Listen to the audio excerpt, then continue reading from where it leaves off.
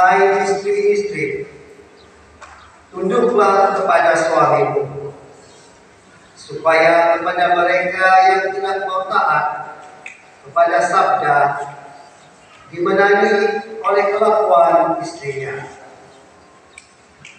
Kalau mereka melihat bagaimana murni dan sopan hidup istri mereka itu, kecantikanmu tidak terletak pada barang-barang yang kelihatan, seperti pengikat rambut, perhiasan emas, atau pakaian yang indah-indah.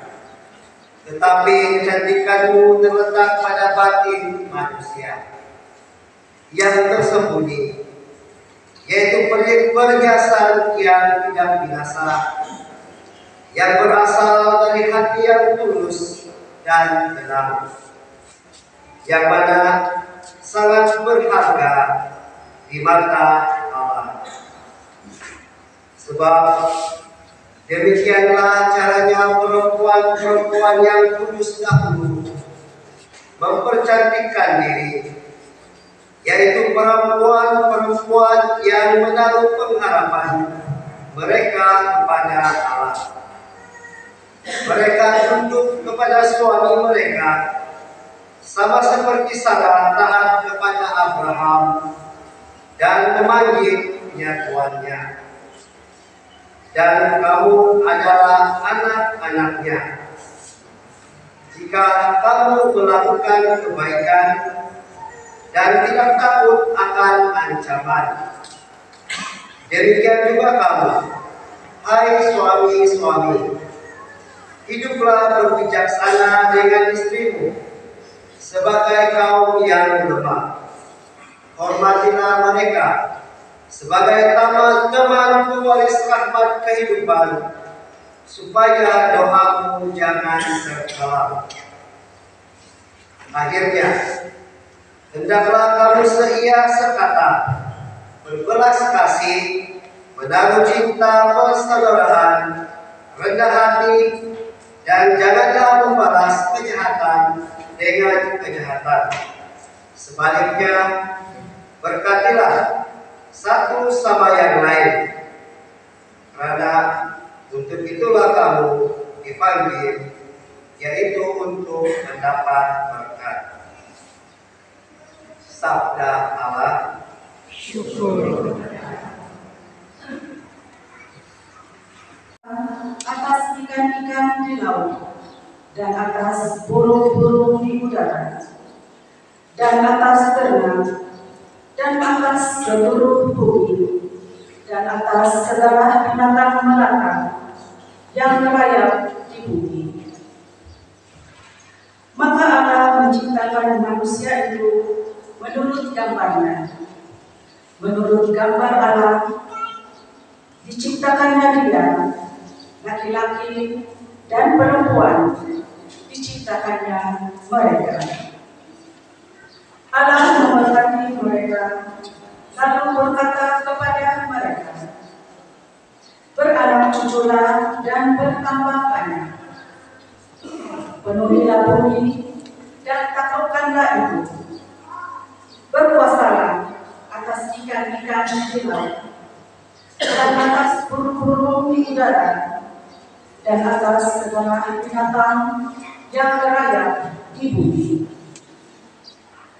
Maka Allah melihat segala yang dijadikannya itu sungguh amat baik. Sabda Tuhan.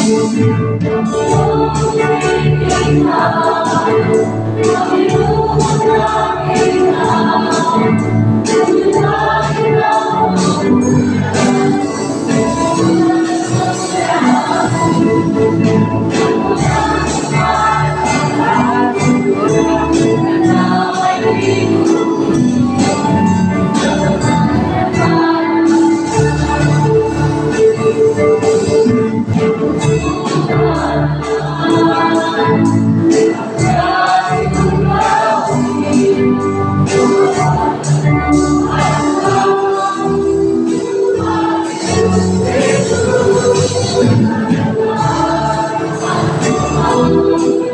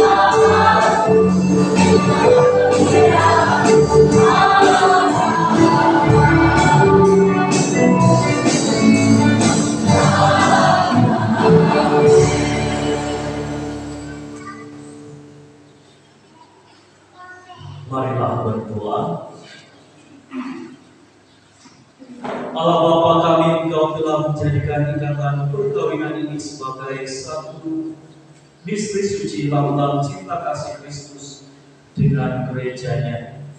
Dengarkanlah doa kami untuk Reno dan Felicia dengan kesetiaan mereka kepadamu dan kepada satu sama lain mereka mengikrarkan cinta kasih mereka Semoga hidup mereka selalu merupakan kesaksian akan hakikat cinta kasih. Kami mohon ini melalui Yesus Kristus Putra Tuhan dan penantara kami yang hidup dan bersatu dengan Engkau dan Roh Kudus, Allah yang satu sepanjang segala masa. Amin.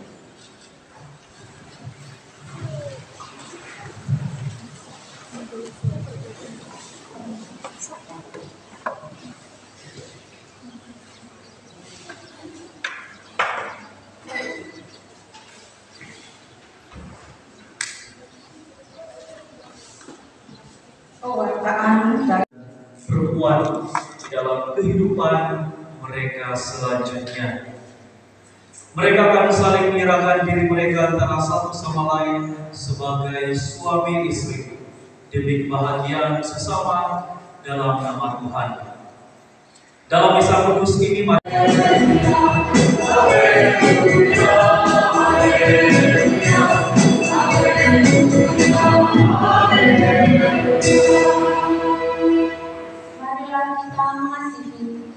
bukan dengan kata-kata belaka, tetapi dengan perbuatan yang nyata.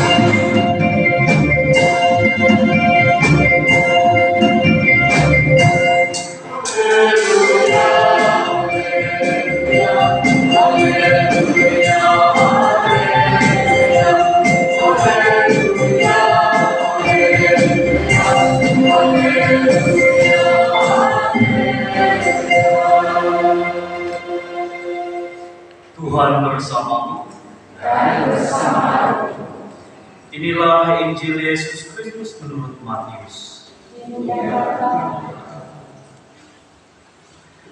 Datanglah orang-orang Farisi kepada Yesus untuk mencobai dia. Mereka bertanya, bolehkah orang menceraikan istrinya dengan alasan apa saja? Jawab Yesus, Tidakkah kamu baca bahwa dia yang menjadikan mereka lelaki dan perempuan? Dia telah bersabda, sebab itu lelaki harus meninggalkan ibu bapanya dan bersatu dengan istrinya, sehingga kedua menjadi satu daging. Demikian mereka bukan lagi dua, tetapi satu.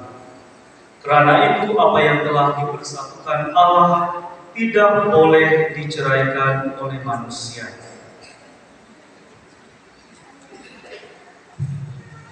Injil Tuhan. Kristus.